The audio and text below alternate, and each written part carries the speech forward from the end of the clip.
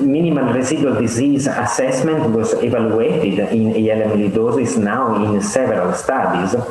Also, uh, our group, uh, in collaboration with other European uh, centers, evaluated in a large uh, series the role of minimal residual disease assessment by next generation flow cytometry.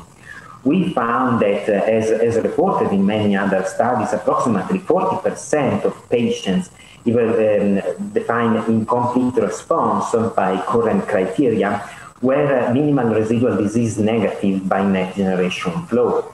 And in this subset, we also found that uh, those who reached uh, an MRD negativity obtain an improvement in terms of cardiac and renal uh, function, so a kind of better improvement in terms of organ dysfunction.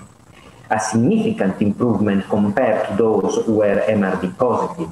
So probably the role of uh, minimal residual disease assessment uh, will play a fundamental role also in the framework of uh, light chain amyloidosis, Obviously, further studies, further prospective evaluation are needed in order to check this, um, this the importance of this possible new endpoint for AL amyloidosis, and uh, also uh, the uh, comparison with different methods. Me methods. So, for example, the um, uh, minimal residual disease assessment by mass spectrometry-based approaches or next generation sequencing have to be evaluated in prospective series.